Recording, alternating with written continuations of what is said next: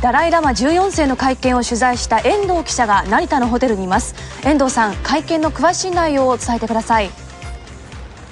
はい、えー、チベットでの暴動聖火リレーの混乱という重大な政治問題を抱えた中での会見だったんですけれども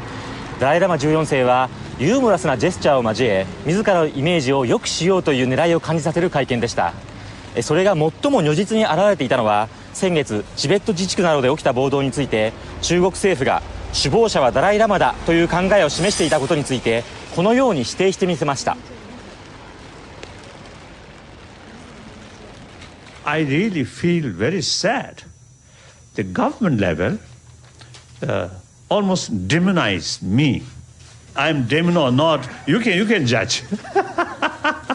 I know this kind of so hard. そして暴動はチベット人の中国に対する憤りが噴き出したものだ。私たちは中国からの独立を要求しているのではない。教育文化環境で自治権を持ちたいだけだ。とこれまでの主張を繰り返しました。またサンフランシスコでの聖火リレーに関連し事前に暴力的な行動を起こさぬよう呼びかけたが日本に向かう飛行機の中にいてどうなったかは知らない。とはぐらかすような一面も見せました。さらに迎えてくれるなら北京五輪の開会式も見てみたいと話し中国政府に改めて対話を求めました。